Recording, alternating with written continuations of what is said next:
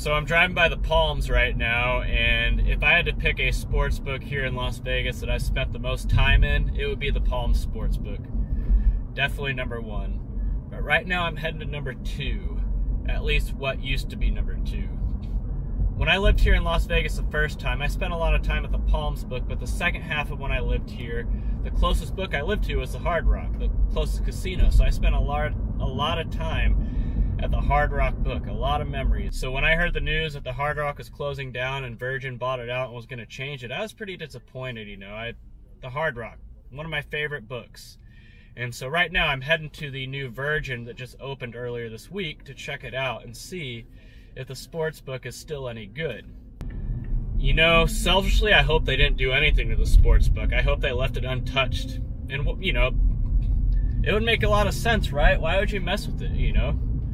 It was perfectly fine. It would cost a lot more money to tear it all down and remake it into something else than to just leave it standing. So I'm actually interested to see what they did with it. And also check out the rest of the property as well, but I really want to see what they did with my one of my favorite sports books. It's a state-issued ID, not a voter ID.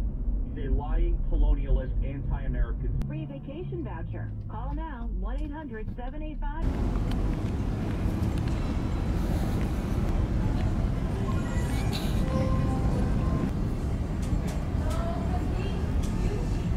So that right there is what the sports book used to be. So I'm guessing it's offices now. So they did not just keep it. They got rid of it completely. So let's go find the new one.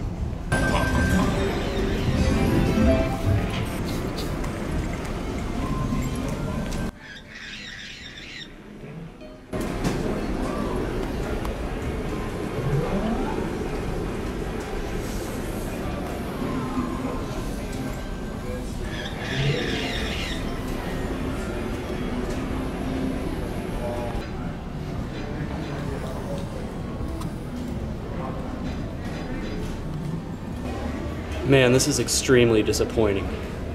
Extremely.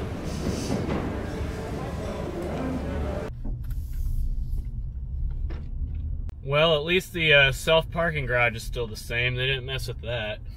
You know, overall, you know, I just want to review the sports book, but um, that was a disappointing sports book. What you saw is what you got. I don't even have to explain it. Like, I could fit it all in the same camera shot.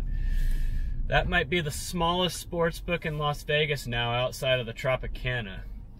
And I don't even know if the Tropicana counts. I mean, there's what, like nine or ten seats and a couple of benches. And it wasn't even open yet. I'll give him some credit for that. It didn't look like it was ready. Uh, but still, that's, that's a tiny sports book. So I just don't see any reason why uh, you would go there the there's nothing you know it's not so much that i'm saying that book sucks because it's not even open yet. It's more of like there's no need to get rid of the old one. Like virgin could have kept the old sports book and there was nothing wrong with it. It was perfect almost. That's that's why i went there so many times. Not just because it was close but because it was like a very well designed book for like locals and midweek stuff. It might not have been perfect for like college football or anything but because it was the older one wasn't probably big enough for like Saturdays and Sundays during football season, but that is even smaller. Wow, I'm just, I, I just, like I said, I just see no reason why they turned the old one and I'm guessing offices and installed that new tiny shoebox in there instead. Disappointing. As far as the vibe for the rest of the casino goes, I mean, it's, it wasn't really that much different than Hard Rock. They just took out all the rock and roll memorabilia they changed the color scheme to orange and red from purple and added some cactuses and stuff like that in there to make it more desert themed, I'm guessing. But apart from that, the casino isn't that. And I guess the casino at the Hard Rock had more of like a party vibe to it. They had pole dancers and uh, louder music and stuff. That place was quiet. So I'm guessing it's going after a more relaxed clientele. I'm guessing. I really don't know who they're targeting. They're just open, but I don't know. I don't see any reason why I would go back. Uh, like I said, I'm not saying it's a bad casino, but I'm just trying to figure out who their target market is. So anyway, that is the review for the new Virgin Hotel Sportsbook. And uh, like I said, I don't see any reason why anyone would go there if they're not staying there. It is what it is, guys. Anyway, Resorts World is opening up this summer, so hopefully I'll be able to get a review on that one. But that'll probably be the next sportsbook review unless I review another place already standing between now and then. Well, until next time, this is Sports Betting Truth from Harmon Boulevard in Las Vegas, signing off.